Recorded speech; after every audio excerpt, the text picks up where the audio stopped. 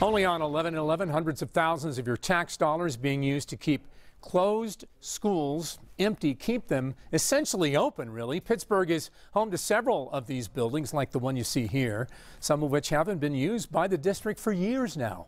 11 investigates Aaron Martin explains what the Pittsburgh Public Schools is doing to get these properties off their hands. It sounds like an open school and looks like an open school.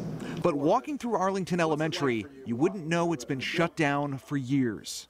This is obviously more attractive because it is pretty cleared out. And people come into a school like this and typically say, wow, this building's in really good shape. And they don't even think it was closed four years ago. Pat Morissetti with Fourth River Development is contracted to sell empty Pittsburgh public school buildings and showed Channel 11 what Arlington Elementary has to offer.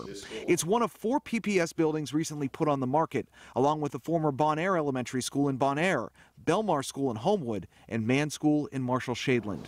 Requests for proposals closed earlier this month with bids on Belmar and Mann. It retires debt, it eliminates annual expenses to operate the building, and then ultimately it puts the buildings back on the tax rolls as well as sort of complements the community. But just keeping these schools in good enough condition to be sold is costing taxpayers. Pittsburgh Public Schools says the district spent more than $440,000 in maintenance costs for closed buildings in 2018 alone the equivalent of 10 PPS teacher salaries, according to the hiring website Indeed.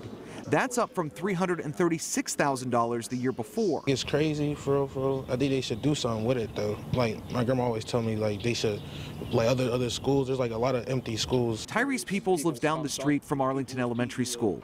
He's hopeful something will be done with it soon. There's one school in the on the hill, they made that to an apartment. I don't know why they make this make this one mm-hmm. as to apartment. What Belmar and Mann could become will be made clear this spring when the school board votes on the proposals. As we sort of sift through and evaluate the proposals, I'm pretty confident and encouraged that we're going to get some deals done. Deals that could take some of the burden off of taxpayers and help the district in the long run. Reporting in Pittsburgh, Aaron Martin, Channel 11 News.